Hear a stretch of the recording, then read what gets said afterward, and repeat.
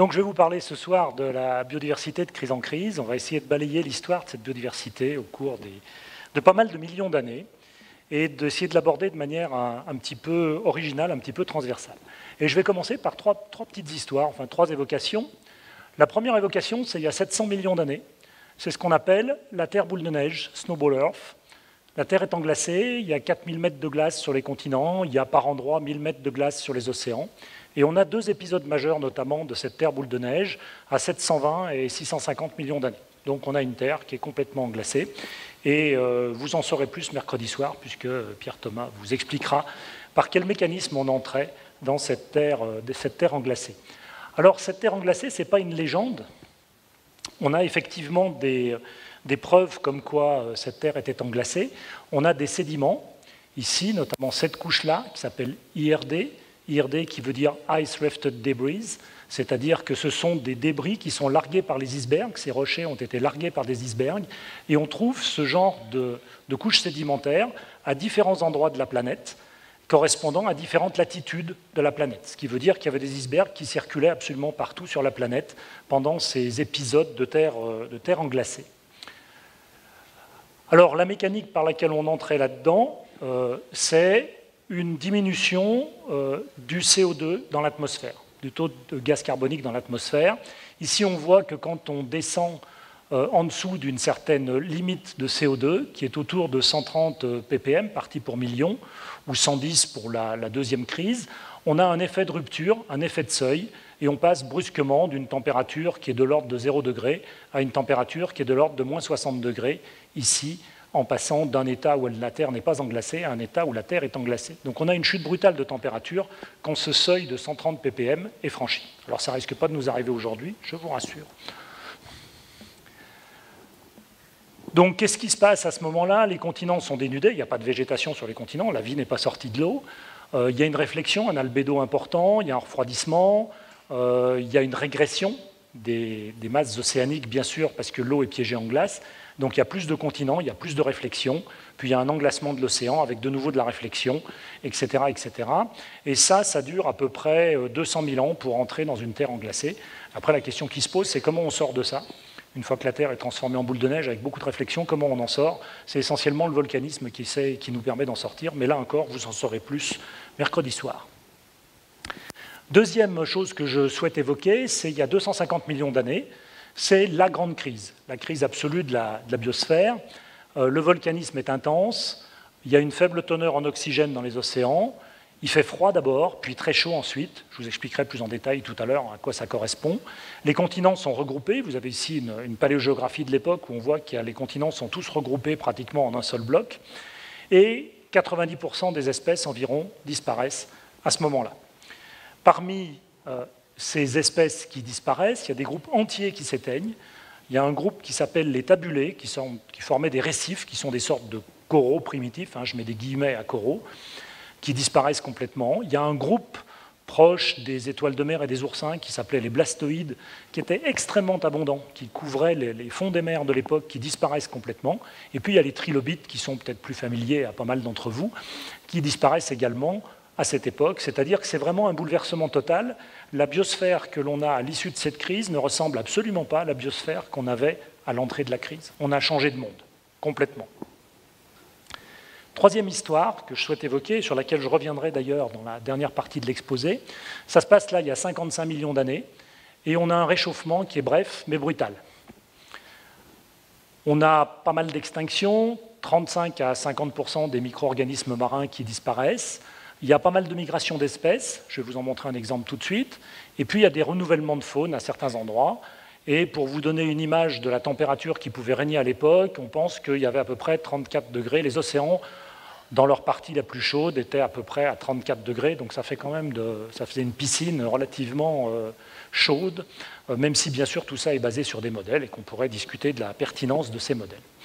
Alors un exemple de ce qui s'est passé à l'époque, avec une bête très sympathique qui s'appelle Teillardina, qui a été dédiée à des Teillards de Chardin, qui est un petit, un petit lémurien, un petit primate. Euh, ce petit primate s'est promené, était en fait présent dans la Sibérie de l'époque. Avec le réchauffement, il y a des corridors forestiers qui se sont installés à travers euh, l'isthme de Bering, puisque l'Amérique était reliée à l'Eurasie à ce moment-là. Il y a des corridors forestiers qui sont installés, donc ce, petit animal en a profité, s'est déplacé jusqu'en Amérique du Nord, et on pense que depuis l'Amérique du Nord, il est revenu en Europe par le Groenland, et on en retrouve des traces en Italie. Donc c'est ce réchauffement qui a permis la diversification de ce petit primate sur l'ensemble des terres, enfin sur une grande partie des terres émergées de l'époque. Donc une fois posés ces trois petits exemples en guise d'introduction, et sur certains desquels je reviendrai, euh, on peut se demander qu'est-ce que c'est qu'une crise? Qu'est-ce que c'est qu'une crise de la biodiversité, finalement? Si on a envie de faire des comparaisons avec aujourd'hui, c'est important de se poser la question de qu'est-ce que c'est. Une crise, ça répond à trois critères. D'abord, un critère spatial. Une crise, ça a un impact global, ça n'est pas régional. Ça touche différentes régions du monde. Le deuxième critère, c'est que c'est un impact brutal, à l'échelle géologique. En termes de temps, une crise, c'est relativement rapide. Alors bien sûr, tout ça, c'est à l'échelle géologique. C'est-à-dire qu'une crise, c'est de l'ordre du million d'années. Ça ne se passe pas en 15 jours. Hein. Et puis le troisième critère, c'est que c'est un impact général sur la biosphère. Il n'y a pas un seul groupe qui est concerné. Il y a beaucoup de groupes qui sont impactés par la crise. Il y en a toujours plusieurs, il y en a toujours pas mal. Ce n'est pas tous, parce que si c'était tous, on ne serait pas là ce soir pour en parler, mais c'est quand même un certain nombre de groupes. Euh, donc c'est euh, l'Arche de Noé qui est sauvée, mais il y a beaucoup de groupes qui sont impactés. Donc tout ça pour vous dire que l'histoire de la biosphère, depuis pas mal de millions d'années, disons euh, un milliard d'années, 500 millions d'années, n'a pas été un, ça a été un long chemin, mais un long chemin pas si tranquille.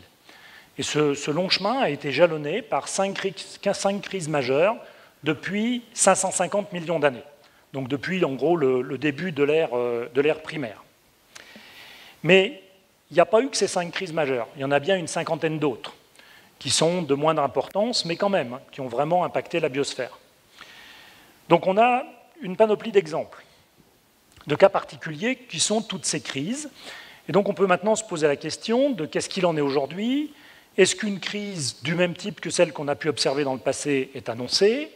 Et si oui, est-ce qu'elle est comparable à des cas qu'on a pu observer dans le passé ou pas? Je vous propose un argumentaire en six chapitres. Le premier chapitre, assez rapide mais relativement important, c'est comment est-ce qu'on se cale dans le temps? Parce que tant qu'on n'est pas calé dans le temps, euh, c'est difficile d'avoir une idée des vitesses des phénomènes. Ensuite, je vous parlerai des crises anciennes de manière générale. Je vous parlerai des réactions de la biosphère face à ces crises anciennes. J'évoquerai un tout petit peu les climats, par rapport au changement climatique actuel. Je reviendrai sur cette crise d'il y a 55 millions d'années que j'ai évoquée en introduction, parce qu'on la prend souvent comme un analogue à la crise actuelle. Et puis, on terminera sur qu'est-ce qui se passe aujourd'hui. Et faut-il éventuellement euh, faire peur, avoir peur ou euh, être totalement rassuré? Alors, quelques remarques préalables sur les, sur les temps anciens. Il faut marquer le temps. Quand on est dans des séries fossiles, il faut être en capacité de marquer le temps pour repérer l'instant fatal, si cet instant fatal existe. Ici, vous avez euh, une image d'un lieu qu'on appelle un lieu stratotypique, c'est-à-dire que c'est un lieu qui correspond à une limite entre deux niveaux géologiques, et ce lieu sert de référence mondiale à la limite entre ces deux niveaux géologiques. Ici, on a la limite entre l'ère primaire et l'ère secondaire, qui correspond à la plus grande crise qui ait jamais existé sur Terre. Et ça se passe en Chine, cette limite, elle a été choisie en Chine, et vous avez vu que les Chinois, je vous mets cette image, qui est une image tirée de Patrick de Wever, euh, cette euh, image montre l'importance que les Chinois accordent au fait d'avoir chez eux cette limite stratigraphique entre l'ère primaire et l'ère secondaire. Alors, une crise sur une colonne stratigraphique, c'est un trait. On voit pas grand-chose. Maintenant, qu'est-ce que c'est exactement si on se rapproche? Si on se rapproche, cette limite entre l'ère primaire et l'ère secondaire, ce qu'on appelle la limite permo-trias, entre le Permien et le Trias, elle est marquée par l'apparition d'un microfossile qu'ils appellent un Deodus parvus. Donc c'est une micro-bestiole, pas très intéressante, même pas jolie. Le problème, c'est que si on regarde les choses de très très près, cet Indoneus parvus, un Deodus parvus, il est détecté légèrement avant la limite, donc si c'est net de loin, c'est flou de près. Il est diachrone à l'échelle globale, c'est-à-dire qu'il n'est pas, c'est pas une apparition instantanée sur l'ensemble de la planète, mais il y a un décalage temporel selon l'endroit de la planète dans lequel on se trouve. Et la décision de, dire que la limite entre le primaire et le secondaire, c'est lié à l'apparition de cet Indeodus parvus, c'est une décision qui a été prise suite à un vote, qui est quand même assez extraordinaire. Hein. Comme si un vote pouvait déterminer une limite stratigraphique. Donc la limite, vous voyez, quand on la regarde de près, elle passe ici au milieu du banc 263 de la coupe chinoise que je vous ai présentée sur la diapositive précédente. Et donc c'est quand même difficile d'aborder la question d'adaptation dans un cadre temporel, et de la question des crises dans un cadre temporel qui n'est pas toujours aussi précis qu'on le souhaiterait. Autre chose, le signal du départ d'une crise. À quoi ça correspond? L'exemple des dinosaures, à la limite entre l'ère secondaire et l'ère tertiaire, donc entre le Crétacé et le Trias, et le tertiaire. L'hécatombe, en fait, elle précède la crise. C'est-à-dire qu'il y a 40% des espèces de dinosaures qui ont disparu dans les 5 millions d'années qui ont précédé la crise. Donc il y avait déjà une érosion considérable de la biodiversité de ces pauvres dinosaures bien avant la crise. Donc ils ne sont pas morts en un seul jour. Un autre exemple, je me tourne vers ça, un autre exemple avec un autre groupe célèbre qui a disparu à la limite entre l'ère secondaire et l'ère tertiaire, les ammonites, on s'aperçoit qu'il y a 65% des genres d'ammonites qui disparaissent 5 à 6 millions d'années avant la crise, dans un niveau qui s'appelle le maastrichtien. Et on voit ici, sur cette colonne, les différentes couleurs représentent différents groupes d'ammonites, et on voit très bien qu'il y a un effondrement de la diversité. Et là, on est 5 à 6 millions d'années avant la crise. Donc là non plus, ce n'est pas un phénomène instantané. Donc le début d'une crise, ce n'est pas forcément quelque chose d'instantané. Et on y reviendra également. Le clap de fin de la crise. Bah, ce clap de fin, il n'est pas instantané non plus. Alors, même si ça prête à des interprétations divergentes selon les auteurs, on connaît des restes de dinosaures, qui sont des dinosaures à bec de canard, qu'on appelle des hadrosaures, qui ont été trouvés dans un bassin à San Juan, dans le Colorado et au Nouveau-Mexique, et ils ont été trouvés dans les premiers niveaux du tertiaire, c'est-à-dire après la crise. C'est-à-dire qu'il y a certains dinosaures qui auraient survécu à la crise. Alors certains scientifiques disent que c'est des remaniements sédimentaires, c'est-à-dire que ces couches ne sont pas en place. D'autres disent non, non, elles sont bien en place, il n'y a pas de problème, on a bien des dinosaures après la crise. Et puis on a au moins deux groupes d'ammonites, dont celle-ci, qui sont connus dans datés d'immédiatement après la limite Crétacé-Tertiaire, au Danemark et également dans le New Jersey, aux États-Unis. Donc on voit que ce n'est pas si net que ça. Et la moralité de ce chapitre, c'est que c'est difficile d'avoir un début et d'avoir une fin, et que tout au plus, on a une durée totale d'événements perturbateurs et qu'on a du mal quand même à se caler dans le temps. Ça veut dire que rien n'est simple, et ça veut dire qu'il faut être prudent dans les interprétations, parce qu'on a des, barres d'erreur qui sont liées au temps et à son appréciation et à la manière dont on se cale dans le temps. Donc quand on fait référence au passé, on a quand même ce handicap qui, fait, qui est qu'on ne peut pas se situer avec une très grande précision dans le temps. Toujours moralité de ce chapitre, une crise, c'est un instantané, avec une barre d'erreur, il y a un petit peu de flux autour, mais c'est un instantané à l'échelle géologique, d'où cette pendule. Euh, c'est un instantané qui dure quand même assez longtemps. Donc c'est un oxymore de dire qu'un instantané dure longtemps, mais c'est la réalité de ce que l'on observe quand on étudie les crises de manière paléontologique. Deuxième chapitre. Comment les crises anciennes ont-elles fonctionné? Je ferai un focus simplement sur les cinq crises majeures. Donc là, vous avez une échelle stratigraphique. Là, ce sont les temps les plus anciens. Là, on est au début du primaire, de l'ère primaire. Ça, c'est le Cambrien, c'est le premier niveau de l'ère primaire. Et ici, on est en gros aujourd'hui. Et les cinq crises majeures sont matérialisées par ces flèches rouges qui sont ici. Là, vous avez l'échelle stratigraphique ici. La première de ces grandes crises, elle s'est déroulée à l'Ordovicien, dans, ce niveau-là, dans un niveau qui s'appelle même l'Irnancien à l'intérieur de l'Ordovicien. On a une deuxième crise au Dévonien, à une limite qui s'appelle le Franien faménien. Puis là, on a la grande crise à la limite du primaire et du secondaire, qui est celle-ci, donc étant de Permien et le Trias. On en a une autre, pas très longtemps après, tout est relatif d'ailleurs, hein, entre le Trias et le Jurassique, ici, qui est une toute petite crise. Et puis on a celle, la fameuse crise du Crétacé, avec l'extinction des dinosaures et des ammonites, qu'on a évoqué tout à l'heure. Donc je ferai un focus sur ces cinq crises majeures. Alors d'abord, une crise, comme je l'ai dit, c'est long et c'est souvent polyphasé. Si on regarde la durée des crises de ces cinq crises majeures, on a cette crise Trias-Jurassique qui dure à peu près 17 millions d'années. Vous imaginez ce que représente 17 millions d'années. Toumaï, c'est 7 millions d'années. Donc notre ancêtre le plus lointain que l'on connaisse chez les Australopithèques, il a 7 millions d'années. Là, on a une crise qui dure 17 millions d'années. Peut-on parler de crise pour quelque chose qui dure aussi longtemps? La crise du Crétacé, Crétacé tertiaire, elle dure entre 0,5 et 2 millions d'années selon les interprétations qu'on peut en faire. Donc c'est une crise quand même qui a également une certaine durée.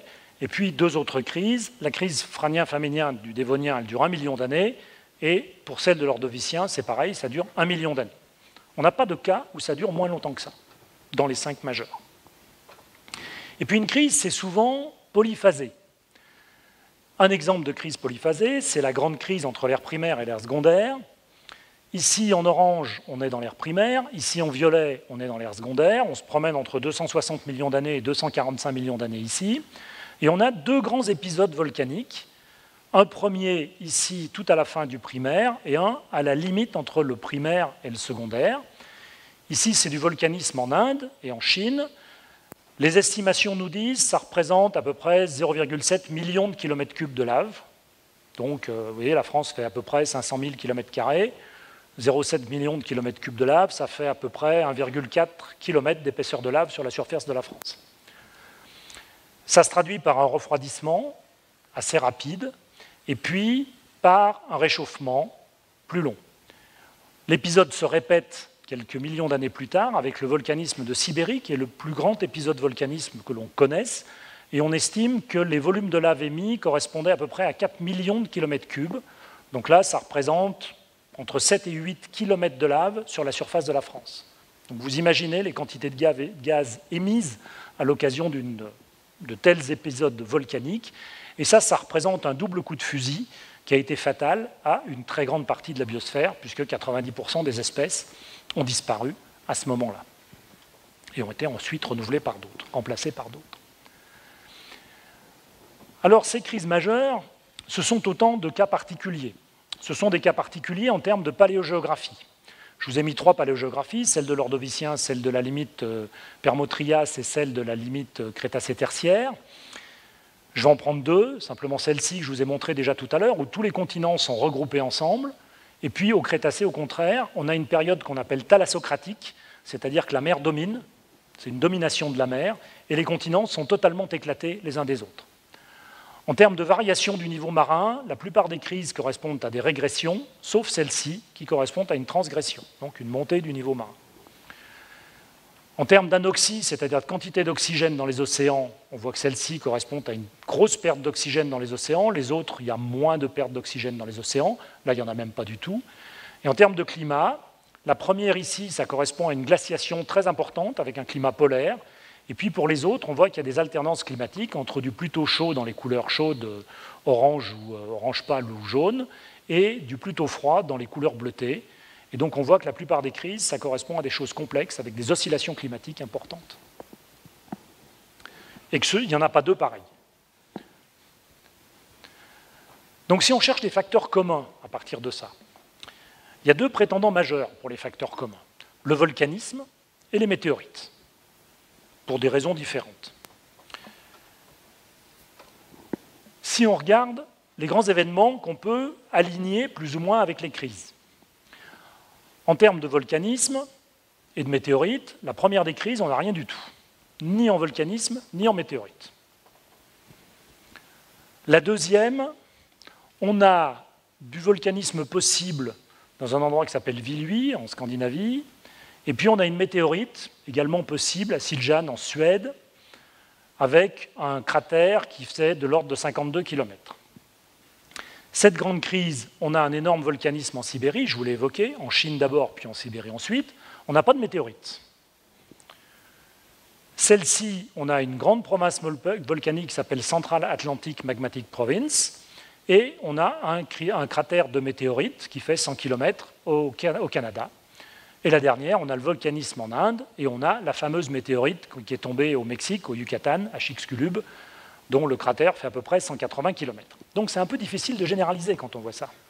On a deux prétendants majeurs. On nous dit que c'est vraiment des facteurs importants, mais c'est difficile de généraliser à partir de ça. Alors si on regarde à quoi ça correspond, on a quand même des traces. Hein. Ce que je vous raconte, ce n'est pas simplement des, vues de l'esprit. Le cratère en Suède, le voilà. On a l'impact de la météorite, on voit très bien son, cratère. Ici au Canada, on a ce grand cratère euh, du Manicouagan. Simplement, je vous ai mis une flèche pointillée ici parce que l'âge n'est pas tout à fait calé sur l'âge de la crise, il est légèrement plus récent. Donc il y a un petit déphasage entre les deux. Est-ce qu'il y a une liaison entre la crise et, et cet impact météoritique Ce n'est pas totalement, totalement garanti. Et puis on a ce fameux cratère du Yucatan. Donc là, on a la côte du Yucatan. Là, on est dans l'océan, on est sur le continent. Et ça, c'est une image de gravimétrie donc, qui donne une idée de la, densité, si vous voulez. Et on voit très bien l'impact de cet énorme cratère de météorite qui est tombé à la fin du Crétacé euh, sur cette région mexicaine, à.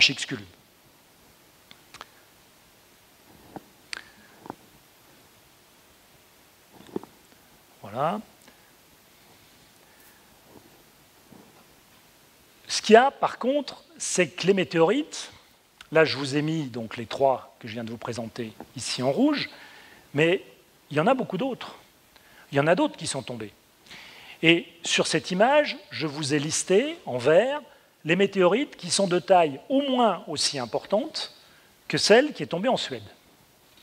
Donc vous voyez qu'il y en a une, deux, trois, quatre, cinq au moins. Il y a au moins cinq autres météorites qui sont tombées qui était au moins de taille équivalente à celle qui est tombée en Suède, avec des cratères d'impact au moins équivalents, mais qui correspondent à aucune crise.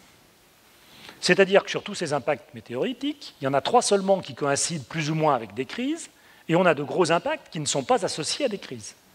Donc, autrement dit, les météorites, ne sont un facteur qui est ni suffisant ni nécessaire pour provoquer une crise. Et ici, je vous ai mis l'image d'un impact à Popigaï, en Russie, euh, qui est un impact avec un cratère qui fait quand même 100 km de diamètre. Donc un gros cratère. Donc il y a une faible corrélation. Si on regarde maintenant le volcanisme, donc je vous ai mis un, graphique extrêmement célèbre qui est tiré de Courtillot et Rennes en 2003, qui relie l'âge de grands épisodes volcaniques avec l'âge d'épisodes d'extinction. Là, on est dans le plus ancien, là, on est dans le plus récent. Donc on voit qu'il y a une assez bonne corrélation, on a pas mal d'épisodes. Là, on est sur la deuxième crise, celle entre le Franien et le Faminien, la crise du Dévonien. Ici, on a la grande crise à la limite euh, primaire, secondaire. Ici, c'est celle de la fin du Trias. Et ici, c'est la limite entre l'ère secondaire et l'ère tertiaire. Et on a un relativement bon alignement, c'est-à-dire une bonne corrélation entre l'âge des crises et l'âge de ces épisodes volcaniques. Donc ça, c'est plus rassurant. Il existe néanmoins quand même des épanchements sans crise, donc ça ne semble pas être un facteur suffisant pour provoquer une crise. Et la condition pour que ce facteur soit nécessaire, c'est qu'il faudrait qu'on ait un meilleur calage de l'âge de cet épisode-là. Vous voyez, il y a des petites barres d'erreur qui sont dessinées, représentées par ces petites barres noires. Donc la corrélation n'est pas parfaite. Et puis il nous manque la première crise ici. La crise de l'ordovicien, la toute première crise. Ici, on n'a pas d'épisode volcanique. Alors on peut avoir une explication pour ça parce que c'est très ancien, parce qu'il y a de la tectonique des plaques, et finalement parce que les traces de cet épisode volcanique a pu être avalées, ces traces ont pu être avalées par les phénomènes de subduction, donc de plongée de continent euh, d'une plaque tectonique sous une autre plaque tectonique, par exemple. Donc on peut avoir ce genre d'explication ad hoc, mais ce n'est pas non plus totalement satisfaisant pour l'esprit. Donc il reste quand même, néanmoins, le fait qu'il y ait une bonne corrélation. Et puis il y a un papier récent qui vient de sortir à propos de ces acteurs essentiels. Alors c'est un papier qui traite de la crise et d'un niveau de crise pour Homo sapiens. C'est-à-dire qui commence à nous poser des problèmes à nous en tant que civilisation, au pluriel, Homo sapiens.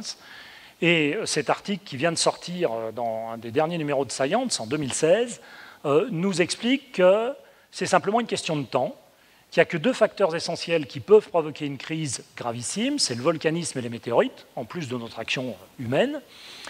Le volcanisme, il faut attendre un délai d'en gros 1 à 2 millions d'années pour avoir la probabilité, enfin pour rencontrer la probabilité qu'un événement volcanique de type niveau d'extinction survienne. Et pour les météorites, c'est de 1 à 2 millions d'années à 50 millions d'années. Vous voyez que la barre d'erreur est absolument énorme là. euh, pour que ça finisse par poser des problèmes à notre petite espèce euh, Homo sapiens. Alors quand on voit ça, ça rassure. Hein. On se dit on est tranquille pour un moment. Hein. D'accord? Alors ça vaut ce que ça vaut. Je vous l'ai mis quand même pour vous dire, bon, effectivement, ce sont les deux phénomènes majeurs, et météorites, qui peuvent amener à nous poser des problèmes. Donc la moralité de ce chapitre, c'est qu'une crise, c'est long, c'est généralement polyphasé, et c'est complexe. Que ce qui impacte la biodiversité est en premier ordre le climat. C'est le climat qui impacte la biodiversité, quelles que soient les causes initiales de changement climatique, que ce soit un problème de, euh, disposition des continents, que ce soit un problème de volcanisme, que ce soit un problème de météorites, que ce soit un problème d'autre chose, les, les mécanismes initiateurs peuvent être différents. Et les facteurs forçants d'une crise, on se rend compte qu'il n'y a aucune crise qui soit euh, monofactorielle. Toutes les crises sont plurifactorielles, même si le volcanisme est le plus souvent présent. La moralité de ça, c'est que les crises, c'est un peu comme le crime de l'Orient Express. Dans le crime de l'Orient Express, il y a plusieurs coupables qui assassinent euh, le personnage qui se retrouve, euh, retrouve assassiné à coups de couteau. Là, c'est pareil. Dans toutes les crises, il y a plusieurs coupables. Et après, euh, savoir quel était le coupable qui avait le couteau le plus long et qui a donné le coup fatal, est-ce que c'est le, volcanisme, le météorite, la disposition des continents, l'anoxie dans les océans Ce n'est pas une question qui est si intéressante que ça. On sait que c'est toujours plurifactoriel. C'est ce qu'il faut retenir comme leçon de, ce deuxième chapitre. Troisième chapitre, finalement, face à ces problèmes, comment la biosphère réagit-elle? Comment est-ce que la biosphère se comporte-t-elle par rapport à ces problèmes? Quel est, dans les crises anciennes, le mode d'expression des crises et leur enregistrement dans le registre fossile? Donc là, je vais délivrer un message que je considère comme relativement important parce qu'il ne vient pas tout de suite à l'esprit. Quand on observe ce genre de choses dans le registre fossile, donc ici un banc qui est bourré d'ammonite, ceci n'est pas une crise. Ça, c'est simplement une accumulation de fossiles. Ça veut dire qu'il y avait beaucoup d'ammonites qui vivaient à ce moment-là. Par contre, ça, c'est une crise. C'est-à-dire que ça, c'est un banc qui est vide. Et ça, c'est une crise, c'est-à-dire que les crises ne sont pas des hécatombes. Je vais vous passer une image suivante, vous allez voir. Une crise, ça n'est absolument pas ça. Ça n'est pas un paquet de dinosaures qui regardent tomber une météorite en se disant Oh là là, celle-là, je vais la prendre sur la tête, je vais y passer, je vais mourir, ça va être horrible, je me sauve. Ça n'est pas comme ça qu'ont fonctionné les crises du passé. Les crises ne sont pas des hécatombes, les crises ne font pas de mort, les crises ne tuent personne. Les crises, c'est ce qu'on appelle une diminution du succès reproducteur. C'est-à-dire qu'en fait, une génération N a moins de descendants que la génération qui l'a précédée. La génération N plus 1 a encore moins de descendants, la N plus 2 a encore moins de descendants, etc. etc. Donc les crises, elles vont affecter le succès reproducteur des espèces. Elles vont faire qu'il y aura moins en moins d'individus qui arriveront à l'âge de la reproduction, donc il y aura moins en moins d'individus présents tout court, et les espèces vont finir par disparaître. C'est comme ça que ça se passe. Mais une crise, ça ne fait pas de mort, ça n'est pas une hécatombe. Donc une crise dans le registre fossile, ça ne se marque pas par un banc qui est plein de fossiles, mais ça se marque par un banc qui est vide, où il n'y a rien du tout dedans. Alors néanmoins, au-delà de cette constatation qui est quand même importante, parce que c'est une idée assez fausse qu'on a des crises, comment se marquent les crises en termes qualitatifs également? Un impact biologique qualitatif, je vous donne un exemple qui est l'exemple de la deuxième crise, donc qui est la crise du Dévonien, la limite entre le Franien et le Faménien. Il y a de très nombreux récifs, par exemple, qui disparaissent, et on passe d'environnements de ce type-là à des environnements de ce type-là, et ces crises, en fait, ont un rôle structurant. Elles vont changer la biosphère, elles vont amener à une structuration différente de la biosphère. Ici, on est juste après, donc on est après cet épisode-là. Ça, c'est avant. Je vous montre après. Après, on se retrouve avec des organismes de ce type-là, qui sont des cousins des oursins et des étoiles de mer, qu'on appelle des crinoïdes, qui sont des, animaux qui vivent fixés, avec un panache de tentacules au bout d'une tige et qui filtre en fait le plancton qui circule dans l'eau de mer.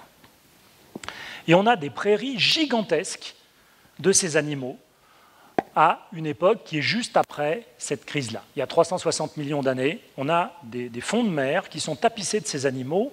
On a estimé par exemple que dans, un bassin des États-Unis, on avait de l'ordre de 10 puissance 15 à 10 puissance 16 de ces animaux qui étaient présents dans ce bassin. Donc vous imaginez ce que ça représente. 10 hein. puissance 15, c'est un million de milliards d'individus qui étaient présents dans ce bassin. Et en densité cumulée, ça représente pas loin d'un million de crinoïdes par mètre carré. Donc c'est beaucoup plus que tout ce qu'on connaît dans la nature actuelle. Ce sont des animaux qu'on connaît encore dans la nature actuelle, mais qui sont assez discrets et qui vivent notamment dans les grands fonds océaniques. Et ça correspondait à des paysages qui n'avaient rien à voir avec ceux qui ont précédé et qui n'ont rien à voir non plus avec ceux qui ont suivi après la grande crise du Permien, qui a éradiqué complètement ces grandes prairies à crinoïdes qui existaient, qui ont existé pendant quand même euh, presque 100 millions d'années. Donc c'est pas rien. Les crises, c'est un renouvellement des faunes. Donc l'exemple le le plus classique, c'est qu'on passe des faunes de dinosaures ici au Crétacé à des faunes à mammifères au Tertiaire. Ce qui s'est passé, c'est que les mammifères, bien sûr, existaient bien avant que les dinosaures disparaissent, mais c'était des bêtes qui étaient nocturnes, qui étaient d'assez petite taille, hein, les plus gros avaient la taille d'un chat, en gros, et euh, ils étaient très discrets, ils étaient à l'ombre des dinosaures. Et puis quand les dinosaures ont disparu, ça a libéré des espaces écologiques dans lesquels les mammifères se sont déployés, se sont diversifiés, et ça a donné toutes les faunes du tertiaire, dont nous sommes finalement euh, une espèce descendante. Et puis je reviens sur la, Terre boule de neige, celle d'il y a 750 millions d'années, avec un autre exemple d'innovation biologique chez les plantes cette fois. Et euh, on a dans la lignée verte, c'est-à-dire l'ensemble des plantes vertes, il y a deux grands groupes. Il y a un groupe qui s'appelle les chlorophytes, qui correspond en fait à un certain nombre d'algues, d'algues vertes et de, différents autres organismes. Et on a un autre groupe, je suis désolé pour les noms un petit peu compliqués, qui s'appelle les streptophytes, dans lesquels on trouve les plantes terrestres et puis également un certain nombre d'autres groupes. Donc on a deux grands ensembles dans cette lignée verte. Et ces deux grands ensembles se sont différenciés. On pense qu'ils se sont différenciés à l'époque de la snowball. C'est un papier qui est sorti en 2012. Ils se sont différenciés donc il y a 750 millions d'années. Et on pense que les chlorophytes de l'époque vivaient sous la glace et que les futurs streptophytes vivaient dans les flaques dessalées à la surface de la glace, et que ça, ça a donc permis finalement le développement de physiologies différentes entre ces deux groupes de plantes qui, tirent leur origine de cette crise qui nous a permis peut-être d'avoir des épinards dans nos assiettes aujourd'hui. c'est assez hypothétique, je le reconnais, mais enfin, voilà. Donc si vous aimez les épinards, c'est peut-être grâce à la terre boule de neige que vous pouvez en avoir, ou d'autres, d'autres plantes vertes. Hein. La salade, ça marche aussi. Hein. Alors l'impact différentiel des crises aussi, parce que souvent les crises, on les regarde en termes de il y a combien d'espèces qui ont disparu, il y a combien de familles qui se sont éteintes, etc. etc. Donc là, ce sont les chiffres classiques, c'est le pourcentage de disparition des familles dans les grandes crises. Donc je vous ai mis en rouge les plus sévères, en noir une intermédiaire, et puis en vert les moins sévères. Ici, il n'y a pas de... le milieu continental n'est pas touché parce que la vie n'était pas installée sur les continents. Donc on voit que la plus sévère d'entre elles, en termes de disparition de familles, c'est 61% euh, des familles sur les continents, 47% dans les océans. On voit que la fameuse crise du Crétacé tertiaire, dont on nous rebat les oreilles sans arrêt, bon, finalement, elle a un impact euh, qui n'est pas extraordinaire en termes de disparition de famille. Mais euh, il y a quelqu'un qui s'appelle McGee qui s'est amusé à essayer de comprendre quelle pouvait être, comment est-ce qu'on pouvait avoir une estimation de l'impact écologique des crises en termes de bouleversement des écosystèmes?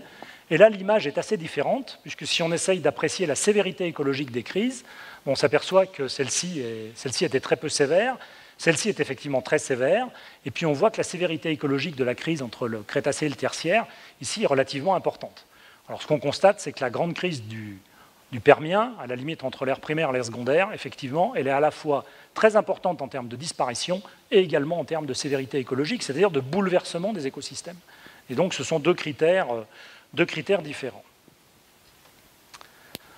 Donc les impacts biologiques, pour essayer de synthétiser, les crises ne sont pas des hécatombes. Les entrées en crise ne sont pas instantanées. Ça s'étale au moins sur 100 000 ans, au minimum, voire beaucoup plus. Et moi, ça m'amène à me poser une question à laquelle je n'ai pas vraiment de réponse, c'est qu'en toute logique, les espèces auraient dû avoir le temps de s'adapter. Parce que si une entrée en crise, ça dure 100 000 ans, je n'arrive pas à très bien comprendre pourquoi il y a des crises à ce moment-là. Est-ce que finalement la biosphère serait pas plus fragile que ce que laisseraient supposer les mécanismes adaptatifs connus ou envisageables? Donc je livre cette question aux gens spécialistes de cette crise. Et puis on peut aussi s'interroger sur comment est-ce que la biosphère cicatrise après une crise. Comment est-ce qu'on sort d'une crise? Comment ça se passe? Alors un exemple, les ammonites, à la limite Permien-Trias, donc juste après la très grande crise entre l'ère primaire et l'ère secondaire. On a la survie seulement de deux ou trois espèces, et une seule espèce d'ammonite donne l'ensemble de la radiation subséquente. Donc il y a un bouleversement total des faunes d'ammonites. La cicatrisation est lente, elle dure à peu près 10 millions d'années, c'est-à-dire qu'on retrouve une diversité comparable 10 millions d'années plus tard. Ça, c'est ce qu'on pensait avant.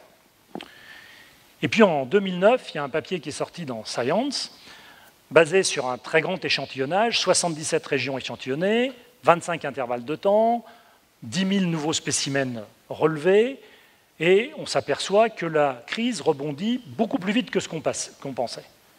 La biodiversité rebondit beaucoup plus vite que ce qu'on pensait après la crise. Pardon. Donc il y a une crise, et le rebond est beaucoup, beaucoup plus rapide que ce qu'on pensait. On peut être rassuré. En un million d'années, on a tout retrouvé.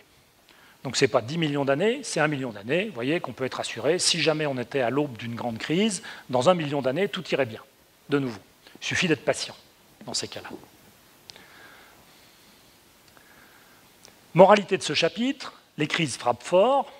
La cicatrisation peut être rapide, mais un million d'années, c'est quand même assez long. Et on a pu constater également que le rebond post-crise pouvait être d'autant plus intense que la crise avait été forte. C'est-à-dire que c'est comme une balle qu'on lance par terre, plus elle lance fort par terre, plus elle rebondit haut.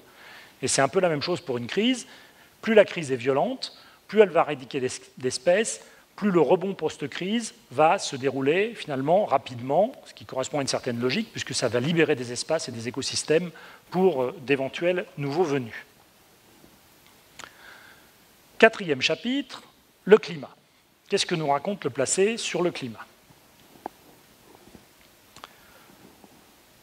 Tout d'abord, vous avez ce qu'on appelle la courbe, la fameuse courbe en crosse de hockey. Donc on est sur les travaux du GIEC de 2001, ici. Et on voit les fluctuations climatiques. Ici, c'est la, température, la température moyenne. Donc là, avec des, mesures ou des appréciations, pas des mesures, des appréciations de ce qu'a pu être la température depuis l'an 1000 jusqu'à aujourd'hui. Et puis là, les différents modèles, les différents scénarios du GIEC avec l'envolée des températures euh, qui nous prédisent des températures euh, très importantes avec des réchauffements relativement importants de l'ordre de 4 à 5 degrés euh, dans le, siècle en cours. Ici, on a la référence 1990 et là, on a les projections pour 2100. Donc quand on voit ça, on se dit, est-ce qu'on joue à se faire peur? Que, Quelle est la réalité derrière ça?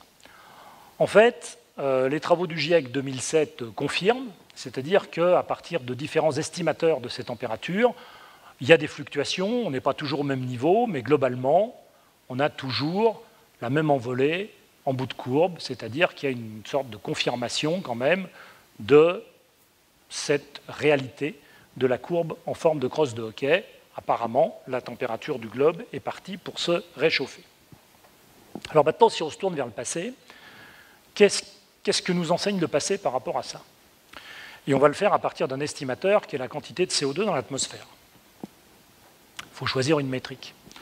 Alors ce CO2 dans l'atmosphère, quand on regarde ce qui s'est passé depuis 1760 jusqu'à aujourd'hui, en gros, il était de 260 ppm il y a 200 ans, et en mai 2016, c'est tout récent, hein, j'ai pris les chiffres les plus récents que j'ai pu trouver, d'après euh, l'agence américaine de l'océan et de l'atmosphère, il était de 404 ppm en mai 2016. Donc on dit bah, ça, augmente, ça augmente quand même pas mal. Excusez-moi. Alors ça augmente pas mal, quand on voit ça, on s'inquiète. Puis si on compare par rapport à ce qui s'est passé depuis 400 euh, 000 ans, avec les cycles glaciaire, interglaciaire, glaciaire, interglaciaire, glaciaire, interglaciaire, etc. Glaciaire, dernier glaciaire, là on est dans l'interglaciaire. Cette courbe-là, elle est représentée par cette petite barre jaune ici. On s'aperçoit qu'on est quand même ici, hein. euh, on est à 400 ppm, euh, donc on est largement au-dessus de toutes les variations naturelles pré-industrielles. Donc on se dit, ben oui, effectivement, euh, on fait changer le taux de CO2 dans l'atmosphère. C'est beaucoup. Maintenant, si on relativise encore plus, c'est-à-dire qu'on remonte non pas sur 400 000 ans, mais sur 6 soit 600 millions d'années, donc là on est sur 600 millions d'années, là on est aujourd'hui, cet, cet intervalle-là, maintenant, c'est ce petit carré qui est ici, ça, c'est la concentration de CO2 dans l'atmosphère telle qu'elle peut être estimée. Bon, on se rend compte qu'on est vraiment très très bas, qu'il y a eu des périodes où il y avait énormément plus de CO2 qu'aujourd'hui. On estime qu'il y avait jusqu'à 18 à 20 fois plus de CO2 qu'aujourd'hui. Donc on est dans des proportions totalement différentes. Moralité de ça, ça, veut dire quoi? Ça veut dire, est-ce que c'est grave, docteur, d'avoir beaucoup de CO2 dans l'atmosphère? La planète a déjà vécu avec beaucoup de CO2 dans l'atmosphère. Ce n'est pas la première fois. Donc le climat depuis 550 millions d'années, ici vous retrouvez la courbe du CO2, ici vous avez la courbe de l'oxygène avec des variations importantes de l'oxygène, là c'est le niveau d'oxygène actuel, ça c'est le niveau de CO2 aujourd'hui. Et ça, ça marque en fait des fluctuations climatiques de la planète, avec ici la courbe des températures moyennes de la planète. On s'aperçoit qu'aujourd'hui, on est dans une période finalement relativement froide de la planète. Et on parle de deux états de la planète, des états qu'on appelle de glaciaire, ice house, et des états de serre, greenhouse, et que ces différents états se sont succédés au cours des temps. Et si on regarde ce qui est marqué en bleu ici, qui correspond aux périodes ice house, où il y avait de la glace au pôle, il y a de la glace au pôle, on s'aperçoit que finalement, ce sont des situations relativement exceptionnelles dans l'histoire de la planète depuis 550 millions d'années. Ce n'est pas le cas le plus fréquent. La plupart du temps, la planète a été beaucoup plus chaude qu'aujourd'hui. Et finalement, on est dans une, on est dans une situation d'une planète relativement froide aujourd'hui, avec y compris parfois des périodes un petit peu intermédiaires dont je vais vous parler euh, tout de suite. Donc on n'est pas dans une planète aussi chaude qu'elle a pu être dans le passé. Donc là aussi, on peut se dire, est-ce que c'est grave, docteur? Finalement, euh, la planète a déjà été beaucoup plus chaude qu'aujourd'hui. C'est déjà arrivé. Donc le climat, je mets, c'est plus compliqué que prévu, et il y a des oscillations haute fréquence qui, sont, euh, sont manifestées à différentes périodes du passé. Donc je vais vous montrer ici des oscillations haute fréquence qui se sont passées au Crétacé inférieur, il y a à peu près 110, euh, 120 millions d'années. Donc là, on est sur une coupe dans le sud de la France. C'est une très belle coupe géologique dans le sud de la France où on voit qu'on a des alternances entre des marnes ici en bleu et des calcaires ici en blanc. Et on a ces alternances très régulières, ces cycles très réguliers entre les marnes et les calcaires. Donc le contexte général de l'époque, c'était une planète assez tiède, avec un climat assez homogène. On chaud sous l'équateur, tempéré chaud sous nos latitudes et tempéré froid aux latitudes polaires. Donc un climat assez homogène de la planète à cette époque. Et quand on regarde les couches de plus près, on peut penser que les bancs calcaires correspondent à des épisodes secs et froids avec de la glace aux hautes latitudes, et que les bancs marneux correspondent à des épisodes humides et chauds, et que ça, ça correspond, une alternance euh, calcaire-marne, ça représente à peu près 20 000 ans, 23 000 ans, c'est la précession des équinoxes, et puis un empilement euh, décroissant, enfin croissant des calcaires depuis un, petit banc calcaire jusqu'à un grand banc calcaire ici, ça représente à peu près 100 000 ans et ça peut être lié à l'excentricité de l'orbite de la Terre. Donc il y avait des oscillations, on peut penser, on a d'assez bonnes preuves, comme quoi il y avait des oscillations climatiques haute fréquence il y a 140 millions d'années, et qu'on avait du froid, donc en période plutôt greenhouse, plutôt en période de serre. Alors quelques chiffres quand même. Ça c'est pour vous dire, il y a eu des fluctuations. Maintenant, ce sur quoi je voudrais attirer votre attention, ce sont les vitesses de ces changements. Parce que ce qui importe avant tout, ce n'est pas l'amplitude des changements, mais c'est également la vitesse des changements. À quelle vitesse tout ceci s'est produit? Je reviens en arrière. Donc là, on a la Terre glaciaire, le dernier glaciaire, et on a la Terre aujourd'hui, dans un interglaciaire. Une différence de température moyenne 5, 6, voire 10 degrés au grand maximum entre un glaciaire et un interglaciaire, selon les, moments du glaciaire et de l'interglaciaire qu'on considère. Donc si on fait les comparaisons, ici on a les oscillations climatiques depuis 800 000 ans, récupérées dans les calottes de glace du dôme Concordia en Antarctique. Ça, c'est la température moyenne 1950. Ici, on a marqué les interglaciaires, donc les périodes les plus chaudes. Et si on regarde à quelle vitesse on sort d'un glaciaire et qu'on se dirige vers un interglaciaire, donc on passe du froid vers du chaud, ça représente à peu près 10 degrés d'augmentation de température ou 6 degrés d'augmentation de température en 5000 ans. Vous voyez qu'on est sur des rythmes relativement lents à l'échelle humaine, puisque ça dure quand même 5000 ans pour sortir d'un interglaciaire, d'un glaciaire. Si on regarde une comparaison plus récente, ça, c'est l'an 0, c'est Jésus-Christ, ici, c'est l'an 2000. Là, ce sont les fluctuations de température mesurées à partir de cernes des arbres notamment, et ici mesurées directement en rouge. La référence, c'est 1990, qui est marquée ici par un zéro. On voit ici la pente du réchauffement actuel, qui est plus importante que la pente qu'on avait lors de l'optimum climatique du Moyen Âge, qui est ici, on avait ce réchauffement qui s'est installé, mais relativement progressivement. Et on peut considérer que le taux actuel, il est beaucoup plus rapide que le plus rapide du taux médiéval. On va plus vite que ce qui s'est passé auparavant. Alors il y a d'autres événements rapides. Ici, on est dans l'ancien, ici on se dirige vers aujourd'hui, et on voit ici des oscillations climatiques dans une série euh, sédimentaire qui se, déroule sur un certain nombre de kilomètres euh, d'épaisseur. Et ces oscillations sont assez rapides, elles correspondent à 24 événements à ce moment-là, dans un glaciaire. Ce sont 24 événements d'excursion négative du delta O18, c'est-à-dire que le delta O18 devient négatif, donc on a un rapport entre l'oxygène 16 et l'oxygène 18 qui, qui, se décale, qui s'est déroulé entre 110 000 et 12 000 ans. C'est à peu près ce qui s'est passé. Là, on est à peu près à 110 000 ans quand on est par là, ici exactement. Et là, on est vers 12 000 ans euh, quand on est en haut de la série. Et ces événements, on appelle ça les événements de Dansgaard-Oeschger, du nom de deux, euh, géologues euh, scandinaves qui ont découvert ces choses-là dans les années 70-80 du siècle dernier. Alors ces événements de Dansgaard-Oeschger, je vous en parle non pas pour vous faire le plaisir de vous parler d'un nom bizarre, mais parce qu'en fait, ce sont des événements qui sont très rapides, c'est-à-dire qu'on estime que le réchauffement était de l'ordre de 6 à 7 degrés en 50 à 60 ans, lors de ces événements, ces épisodes, et que le refroidissement, lui, quant à lui, était plus progressif. Donc on a, déjà eu, au moment des glaciaires, des épisodes de réchauffement au sein d'une période glaciaire qui étaient des épisodes de réchauffement très importants. Alors il y a quand même deux bémols par rapport à ça.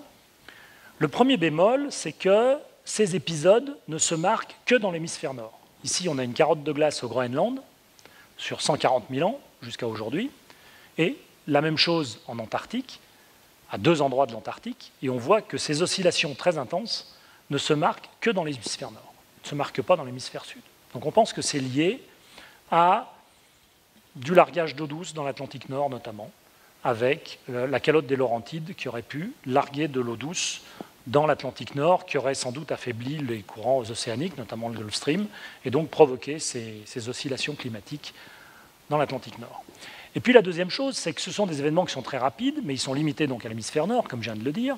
Ils sont dans le contexte très froid d'un glaciaire, c'est-à-dire qu'on passe de quelque chose de très très froid à quelque chose de simplement froid, voire que très froid. Et ils ont des impacts très divers sur les faunes. Ils ont des impacts importants sur un certain nombre de micro-organismes qui vivent dans l'océan, où là on a des changements de faune dans l'océan, qui sont bien enregistrés. Par contre, ils ont peu d'impact, voire très peu d'impact sur les rongeurs, qui étaient dans les steppes, et qui, au lieu de brouter des buissons à peu près hauts comme ça, sont mis à brouter des buissons comme ça quand ça se réchauffait. Mais ça n'a pas fondamentalement changé leur, mode de vie. Et donc, les impacts sur les faunes ont été très différents euh, selon les, les faunes que l'on considère. La moralité de ce chapitre, c'est que les climats anciens ont oscillé fortement sans doute beaucoup plus que ce qu'on pouvait penser. Qu'il y a eu des hétérogénéités haute fréquence également dans des passés très anciens, et ça c'est une découverte relativement intéressante qui a de l'ordre d'une quinzaine d'années, que pour des changements importants, le CO2 n'est pas nécessairement le seul en cause, qu'il y a d'autres facteurs qui peuvent intervenir, et puis qu'on a finalement très peu d'exemples d'oscillations climatiques aussi rapides que celles qu'on enregistre aujourd'hui, que les seuls cas documentés sont des cas récents, qui correspondent aux événements de Dansgaard-Oeschger, mais qu'on a, en termes de vitesse, peu d'équivalents, voire pas d'équivalent de la période actuelle, de ce qui se passe aujourd'hui. Alors maintenant, je voudrais vous parler, évoquer un cinquième chapitre, qui est ce, ce cas vieux de 55 millions d'années.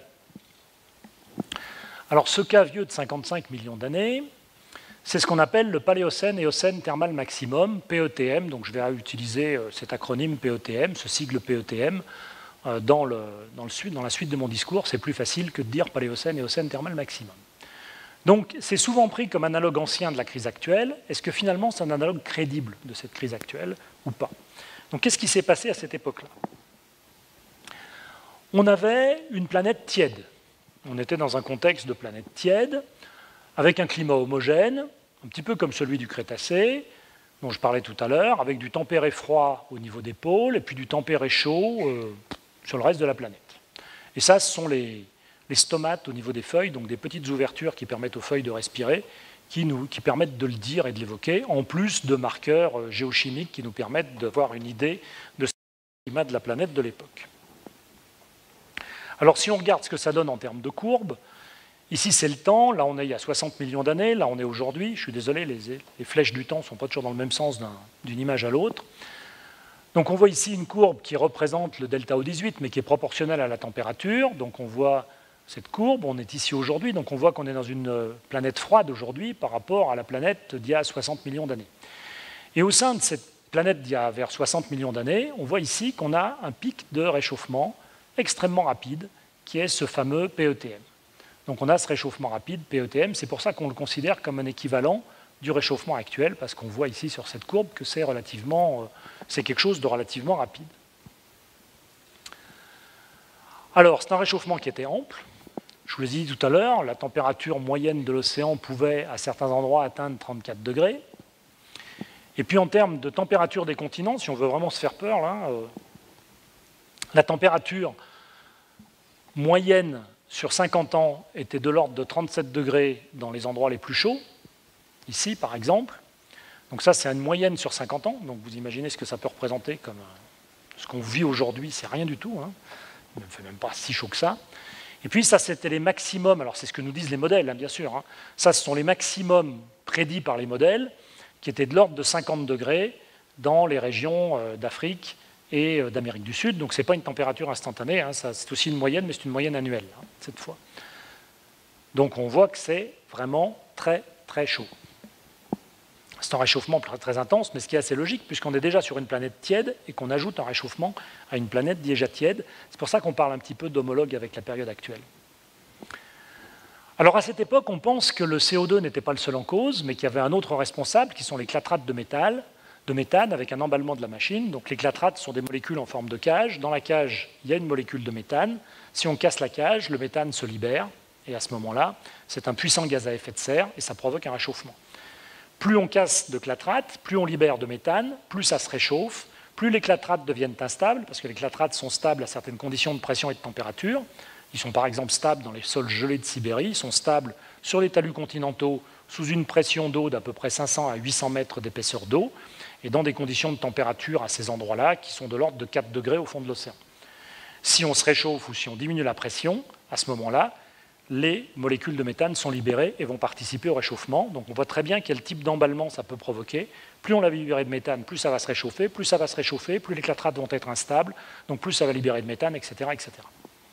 Donc on pense que c'est ce, méthane qui est en cause lors de ce réchauffement du PETM, et ça pourrait être aussi quelque chose, une machine qui se met en route aujourd'hui, puisqu'on a énormément de méthane dans les sols gelés du Canada et de Sibérie, par exemple, et également sur les talus continentaux des océans. Donc qu'est-ce qui se passe à ce moment-là? Ben, Ça modifie l'atmosphère et les eaux océaniques. Ici, vous avez une courbe du delta C13, donc c'est le carbone sous sa forme 13 et le, pourcentage en gros de carbone sous sa forme 13 qui est présente. Et on voit qu'on a ici, sur la courbe rouge comme sur la courbe verte, une importante diminution du delta C13 qui marque un accroissement du CO2 atmosphérique. C'est comme ça que ça doit se lire. Et ce qui est intéressant, c'est que en rouge ici, vous avez des foraminifères, donc des petits organismes planctoniques qui vivent à la surface de l'océan. Ici, vous avez d'autres organismes microscopiques qui, eux, vivent au fond de l'océan. Donc ça marque, ça, également, un réchauffement à la fois des eaux de surface et des eaux de fond de l'océan. Donc un bouleversement quand même du système océanique. C'est un bouleversement du système océanique qui se marque également par quelque chose qu'on enregistre aussi aujourd'hui, qui est l'acidification des océans. C'est-à-dire que le pH de l'océan change, les océans deviennent de plus en plus acides. Ça ne veut pas dire qu'ils deviennent acides, hein, pas ils ne viennent pas du Coca-Cola hein, ou de l'acide chlorhydrique, ils restent fondamentalement basiques, mais leur pH évolue vers quelque chose de plus acide que ce qu'il n'était jusqu'à présent. Et c'est important. C'est-à-dire qu'aujourd'hui, la modification du pH, ça représente à peu près 30% d'acidité en plus dans l'océan. Et là, on a des carottes à différents endroits de l'océan, notamment sur une ride qui s'appelle Shatsky Rise, qui est une ride dans le Pacifique. Et on voit ici un changement de couleur dans ces carottes.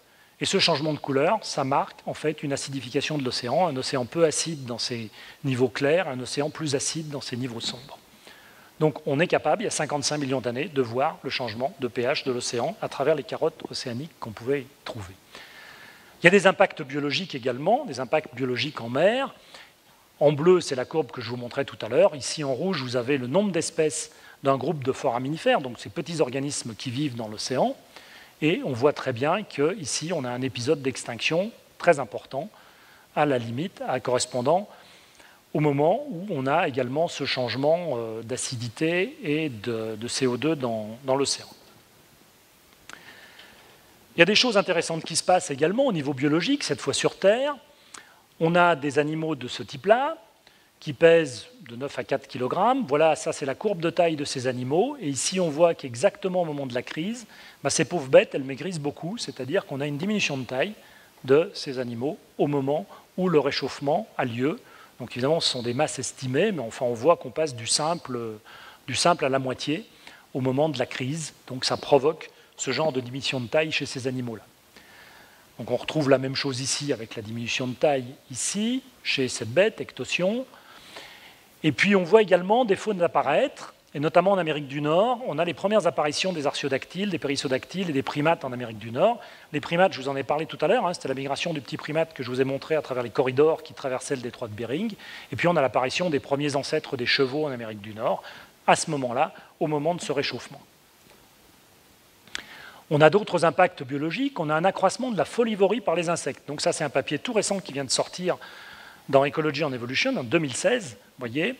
Et là, cette, boîte-là correspond en fait au moment de la crise, au moment du réchauffement, et les différentes barres que vous avez correspondent à différents types de folivories, hein, ceux qui creusent des trous, ceux qui mangent les marges, ceux qui suivent les trames du, squelette de la feuille, ceux qui mangent la surface, ceux qui font des trous dedans, et puis les gales, et on voit que toutes ces, toutes ces manières de manger des feuilles augmentent sensiblement, ou la plupart d'entre elles augmentent au moment de la crise. Donc ça a des impacts finalement sur la relation plante-insecte et l'accroissement de la folivorie par les insectes. Donc la moralité de ce chapitre sur le PETM, c'est que ça a été un changement climatique brutal, certes, moins brutal quand même que le changement en cours, parce que tout ça, ça dure un certain temps. Il y a eu toute une gamme de modifications, des relais phoniques, des extinctions, des migrations. À cette époque, le CO2 n'était pas celle en cause. On a vu les clatrates. En milieu marin, l'importance des effets induits, changement du pH, oxygénation des eaux, et puis, le réchauffement a touché une planète déjà chaude. Alors, l'avantage, c'était que les faunes et les flores étaient déjà adaptées au chaud. L'inconvénient, c'est que potentiellement, on peut dépasser des effets de seuil et que si l'effet de seuil est dépassé, ça déstabilise considérablement la biosphère. Donc voilà pour le, un petit peu ce qui s'est passé à ce moment-là. J'en arrive à mon dernier chapitre, qui est finalement comment tout ce que je viens de vous raconter se cale par rapport à la crise actuelle. C'est-à-dire comment le contexte actuel se cale à l'ombre de ces crises anciennes, en guise de conclusion en quelque sorte. Les crises anciennes sont effectivement des expériences grandeur réelle. Aucune des crises anciennes n'est à elle toute seule un analogue de la crise actuelle. Ça, c'est l'enseignement également, c'est un des enseignements majeurs qu'on peut tirer de l'étude de ces crises anciennes. Leur intérêt, c'est quand même que, comme il y en a une cinquantaine ou une soixantaine, elles représentent un échantillonnage finalement statistique de situations particulières, et que cumuler ces situations particulières, ça permet de faire quelques comparaisons et de poser des points de référence. Et de se dire finalement, euh, même si aucune n'est équivalente de ce qui se passe aujourd'hui, ça nous permet de nous caler par rapport à ça. Alors qu'est-ce qui se passe aujourd'hui? Je reviens sur ce papier de Rosen dans Science en 2016. Ici, vous avez l'abondance des espèces, ici vous avez la, richesse, donc ça c'est le nombre d'espèces, ça c'est l'abondance des individus au sein des espèces. Ces différentes lignes représentent différents environnements, vous voyez ici les déserts, vous voyez les forêts méditerranéennes, etc. Et vous voyez ici, l'auteur a représenté une limite de sécurité, en quelque sorte, en deçà de laquelle on commencerait vraiment à entrer dans une crise. Et on s'aperçoit qu'il y a des environnements, par exemple la toundra, qui est loin de la limite de sécurité, on y a peu touché. La taïga, ça va pas mal. Par contre, on a des environnements comme les, euh, prairies, les savanes, ou les, zones à buissons, euh, en montagne également, la forêt méditerranéenne, où on a déjà dépassé cette limite de sécurité, au-delà de laquelle on serait censé entrer dans une crise majeure, qui serait que bon, les écosystèmes sont pas mal déstabilisés quelle qu'en soit la cause. Hein. Là, je ne parle pas du réchauffement climatique. Hein. C'est aussi euh, l'usage qu'on fait de la planète, hein. la surexploitation, la pollution, euh, le fait qu'on arrache des haies, qu'on transforme des zones immenses en, champs gigantesques, qu'on y mette des pesticides, des herbicides, euh, voire des OGM, etc. etc. C'est tout, tout ce changement d'usage de la planète qui est sans doute beaucoup plus important que le changement climatique lui-même. Alors les extrapolations sur la base de ces états des lieux, donc ça c'est un papier qui est paru dans Nature en 2012, un papier de Barnowski, qui nous dit euh, voilà un petit peu le pourcentage d'écosystèmes qui est euh, légèrement affecté en vert clair et fortement affecté en vert foncé. Donc là on est en 1700, puis on se rapproche d'aujourd'hui, ici on est à peu près aujourd'hui, 2011, hein, à l'époque de son papier. Ça c'est la population qui est présente sur Terre, et d'après cet auteur, on va être sans doute atteindre un point de basculement, un tipping point en anglais, un point de basculement au-delà duquel on va basculer dans un autre système. On va franchir un effet de seuil on va basculer dans un autre système avec une transition brutale, critique, qui va faire que tout va changer et il estime ce point de transition après 2045. Donc c'est pour vous dire où on est la, la crise actuelle. Ça vaut ce que ça faut.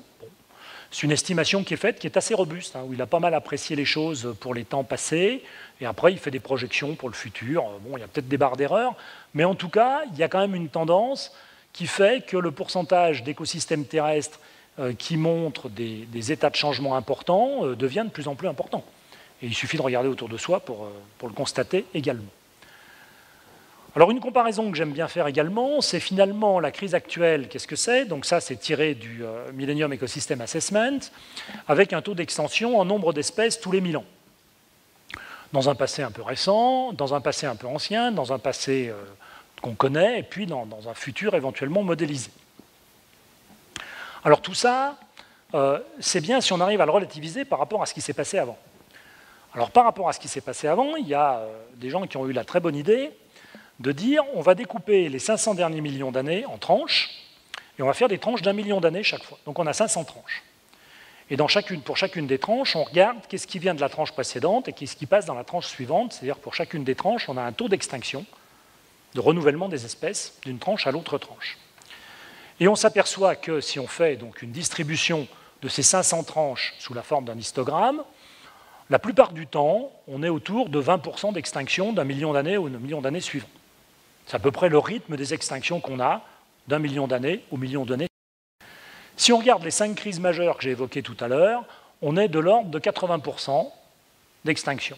On est sur un taux de 80% d'extinction d'un million d'années à un autre million d'années. Je vous ai dit une crise en plus, ça dure à peu près un million d'années, donc on est à peu près calé pour ça. Ça nous donne une idée, 80% d'extinction. Je vous ai dit, la plus grande des crises, c'est 90%, les autres, c'est un peu moins. Bon, on est à peu près, on est à peu près bien calé. Alors maintenant, si on essaye de relier ces deux images, c'est-à-dire que si on essaye de calculer un taux d'un million d'années à partir des observations qu'on a sur des mammifères, des oiseaux, des amphibiens aujourd'hui. Bon, on s'aperçoit qu'on est, pour les mammifères, à 8000% aujourd'hui, depuis 150 ans. Alors, si je vous dis ça, on a les cheveux qui se dressent sur la tête, on dit une crise majeure du passé, c'est 80%, et aujourd'hui, on est à 8000% quelque chose qui ne va pas. Ou alors, c'est que ça va vraiment très mal. Alors c'est peut-être un peu les deux. Parce que quand je fais ça, j'abuse un peu de votre confiance quand même. Peut-être à, tort, mais j'abuse un peu de votre confiance. Parce que je suis en train de comparer une vitesse moyenne sur un million d'années à une vitesse instantanée sur 100 ans ou sur 150 ans. Et rien ne dit que sur un million d'années, on va maintenir cette vitesse-là. C'est un peu comme sur l'autoroute. Hein. Vous pouvez faire un excès de vitesse éventuellement, par inadvertance bien sûr, et vous retrouvez à 150 km/h à un moment donné, et puis le reste du temps, vous roulez euh, normalement à 120 ou 130 km/h. Donc, bon, est-ce que ça vaut ça? Ceci dit, moi, ça me pose une question, parce que je me dis, même si on se trompe, même si c'est une vitesse instantanée et pas une vitesse moyenne. Même si on se trompe beaucoup, si on se trompe d'un facteur 10, on reste quand même à 800%. Si on se trompe même d'un facteur 100, ce qui est quand même énorme, on est à 80%. C'est-à-dire qu'on est sur le rythme d'une des grandes crises du passé, d'une des cinq majeures. Donc même si on fait une marge d'erreur, si on appliquait une marge d'erreur à ce calcul de 100, donc on se serait trompé d'un facteur 100, ce qui est énorme, ce n'est pas 100% d'erreur, hein, c'est beaucoup plus que ça, on serait, on serait quand même sur un ordre de grandeur d'une grande crise du passé. Alors deux choses qui vont dans la même chose, enfin deux constatations qui vont dans le même sens, donc une extrapolation un peu inquiétante. Toujours un travail de Barnowski, cette fois en 2011, qui prend un certain nombre de groupes, qui regarde en blanc ici les extinctions constatées, donc on voit qu'il y a très peu d'extinctions constatées dans la plupart des groupes, qui voit le nombre d'espèces en danger dans ces différents groupes, avec des, des estimations peut-être un petit peu pessimistes, donc il les ramène ici avec des flèches vers quelque chose de moins pessimiste. Les extinctions passées ici. Donc on constate que finalement, si on regarde les extinctions, on est là, les extinctions passées, on est là, on est au tout début du chemin. On a pratiquement éteint pas grand-chose aujourd'hui, relativement peu de choses par rapport à ce qu'est la, la, biodiversité dans son ensemble, et par rapport à ce qu'ont pu faire les extinctions passées. Ouf, on se rassure, d'accord? Ceci dit, autre graphique, toujours du même papier, de Barnowski, qui donne ici une idée du rythme de ces extinctions. Ici, leur ampleur. Donc on voit qu'aujourd'hui, on est par là, sur les espèces déjà éteintes. Les crises du passé, elles sont toutes par là. Donc en termes d'ampleur, on est très très loin. Par contre, en termes de rythme, le rythme des extinctions passées, il est par là. C'est par là que ça se passe, sauf celle du Crétacé pour laquelle on a une barre d'erreur très importante. Mais c'est par là que ça se passe. Et on voit qu'en termes de rythme, ici, on va beaucoup plus vite. On est beaucoup plus rapide que les extinctions du passé. C'est-à-dire qu'on est au tout début du chemin. Imaginons qu'on soit dans un véhicule, qu'on se dirige vers un mur. On est encore loin du mur, mais on va très vite en direction du mur. Alors le seul avantage qu'on ait, c'est qu'on sait où est la pédale de frein, en principe si l'économie accepte d'appuyer sur la pédale de frein. Le bilan de ça, c'est qu'on a les ingrédients aujourd'hui d'une crise majeure. Les crises du passé ont toutes été multifactorielles. La crise actuelle l'est également. C'est un problème de climat, un tout petit peu de climat, pas tant que ça. C'est un problème de pollution, c'est un problème de surexploitation, c'est un problème de déplacement d'espèces avec des espèces qui deviennent invasives, etc., etc. Donc on est aussi dans une situation multifactorielle, comme dans les crises du passé. Une leçon du passé, c'est que les crises n'ont pas été des hécatombes. Ça n'a pas fait des morts par milliers. Effectivement, on ne ramasse pas des euh, insectes ou des oiseaux morts euh, euh, sur toute la planète. On peut ramasser des poissons morts dans une rivière à la suite d'une pollution, mais globalement, ça ne fait pas tant de morts que ça. Mais constatation récente qui a été faite il y a un peu plus d'un an, un an et demi maintenant, au sein des oiseaux européens, en 30 ans, il y a 420 millions d'oiseaux européens qui ont disparu en termes d'individus. Ce sont des oiseaux communs. Ce sont des pinsons, ce sont des rouges-gorges, ce sont des mésanges, d'accord Qui existaient dans nos écosystèmes et qui ont disparu en 30 ans. Donc là, on est bien sur un mécanisme où il n'y a pas de mort, mais c'est simplement le succès reproducteur de ces oiseaux qui a fait qu'il y a eu de moins en moins de succès à l'envol et donc de moins en moins d'oiseaux. Et en 30 ans, 420 millions d'oiseaux en moins, c'est 25% des oiseaux communs européens qui ont disparu. Qu'on y pense. Donc est-ce qu'on est en marche vers une autre structuration de la biosphère? Et est-ce que l'homme aurait sa place dans cette nouvelle structuration? La façon de se poser la question, si on est en marche vers une autre structuration de la biosphère, quelle est la vulnérabilité de la biosphère actuelle par rapport à celles qui ont subi les crises antérieures? Est-ce qu'on est dans un état de résistance possible, plus important ou pas? Et les patrons actuels de structuration de la biosphère, puisque notre biosphère n'est pas structurée n'importe comment, est-ce que ça va amortir ou amplifier les impacts d'une crise potentielle?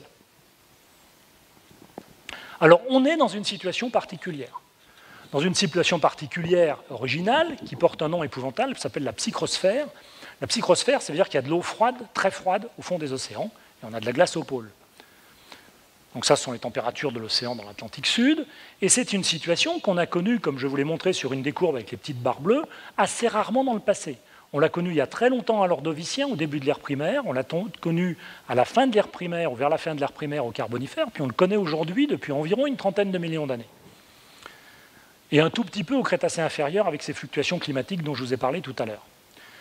Donc on est en, quelque sorte sur une référence inverse au PETM, au Paléocène et au Cène thermal maximum où on était à une période très chaude et où on a un réchauffement qui s'est rajouté à ça. Nous, on est dans une tendance plutôt fraîche, même si on est en interglaciaire, et on réchauffe quelque chose sur une planète assez fraîche. Alors ça pourrait nous rassurer, parce qu'on peut se dire, oui, mais on est déjà relativement frais, ça a connu beaucoup plus chaud dans le passé, donc ce n'est pas si grave que ça si on se réchauffe. Oui, sauf que notre biosphère, depuis 30 millions d'années, elle est adaptée à une planète fraîche, et pas adaptée à une planète chaude. Et on revient à la question des vitesses, enfin non, je ne vais pas y arriver tout de suite, L'organisation de, la biodiversité aussi sur Terre, c'est que cette biodiversité, elle n'est pas répartie aléatoirement sur la planète. On sait très bien qu'on n'a pas de tigre au Groenland et qu'on n'a pas d'ours blanc en Thaïlande, par exemple. La biodiversité, n'est pas répartie de manière aléatoire sur la planète. Il y a des endroits où il y a des points chauds de biodiversité avec beaucoup d'espèces. Il y a de l'endémisme, c'est-à-dire des espèces qui ne sont présentes qu'à un seul endroit. Il y a des gradients de latitude sur la planète. Il y a beaucoup de particularismes. Tous ces particularismes, font qu'éventuellement, la biosphère, elle est localement ou généralement plus fragile que si elle était homogène. Et puis il y a quelque chose auquel on pense assez peu, finalement, qui est la distribution des biomes et des biotas. Alors je vais vous expliquer ce que c'est. Un biota, c'est une communauté historique. C'est-à-dire que l'ensemble des organismes qui vivent dans la Méditerranée, c'est un biota. L'ensemble des organismes qui vivent en Afrique, du nord au sud de l'Afrique, c'est un biota. C'est une communauté historique. Un biome, c'est une communauté écologique. Par exemple, la forêt tropicale, c'est un biome qui est distribué en différents biotas, puisqu'on a une partie de la forêt tropicale qui est en Amérique du Sud, on a une partie en Afrique, on a une partie en Indonésie. C'est-à-dire qu'on est dans une situation aujourd'hui où on a un croisement des biomes et des biotas. Je vous l'illustre assez facilement en vous montrant par exemple que pour la forêt tropicale que je viens d'évoquer, on a le même biome ici qui est scindé en trois biotas. Dit autrement, ça veut dire qu'on n'a pas tous nos œufs dans le même panier. C'est la même chose pour les récifs de coraux, où on a des récifs de coraux dans les Caraïbes, on en a en mer Rouge, on en a ici vers l'Indo-Pacifique, et on enfin en région euh, Maldives, etc. Et on en a également euh, dans le Pacifique. Donc là aussi, on n'a pas tous nos œufs dans le même panier, on a un seul biome, les récifs coralliens, scindés en différents biotas, et ça c'est simplement dû à la disposition nord-sud des océans, ce qui n'a pas toujours été le cas sur la planète. Hein. Il y a eu des moments de l'histoire de la Terre où les océans n'étaient pas nord-sud et où les biomes et les biotas coïncidaient. Il se trouve qu'aujourd'hui, les biomes et les biotas ne coïncident pas. Est-ce que c'est un avantage de ne pas avoir tous ces œufs dans le même panier ou un inconvénient parce que du coup, les biotas sont plus réduits? Je ne sais pas. Je ne sais pas répondre à cette question. Je sais simplement souligner cette particularité de la biosphère actuelle par rapport à des biosphères anciennes qui ont subi d'autres types de crises. Et puis pour la première fois aujourd'hui, bah, c'est une espèce qui cause la crise. Ça, ça n'est jamais arrivé. Donc c'est une espèce qui a tendance à pulluler. Il y a nombreux sur la planète, 7 milliards et quelques, peut-être 9, 10, 12, on ne sait jamais. C'est une espèce qui bouge, c'est-à-dire que, bon, on a tendance à se déplacer pas mal, donc à avoir des impacts qui se distribuent. Et puis c'est une espèce qui est assez grosse quand même. Également, euh, la taille moyenne d'un organisme sur la planète, euh, bah, c'est celle d'une bactérie, si on prend tous les organismes, et si on prend que les animaux, c'est de la taille d'une fourmi, la taille moyenne d'un organisme sur la planète. Donc nous, on voit midi à notre porte, on dit, bon, c'est normal de, faire en gros 75 kg à 1m80. Non, c'est relativement atypique. Donc à partir de là, où allons-nous? Pour reprendre l'image de Florence, je ne sais pas. Et en tout cas, il y a une chose dont je suis sûr, c'est que même s'il existait une Terre bis, elle serait trop lointaine à la vitesse à laquelle voyagent nos sondes spatiales les plus rapides, de l'ordre de 50 000 km/h. On voit très bien que pour atteindre une planète en dehors du système solaire, il faudrait quand même un certain temps et euh, qu'il y aurait quand même des difficultés à aller s'y installer. Voilà. Et tout ce que je vous ai raconté, ça vient de ce livre, donc je fais la publicité, qui a été surtout coécrit avec mon complice Patrick Devever, qui est également professeur au muséum, et que j'associe à cette conférence. Voilà, je vous remercie.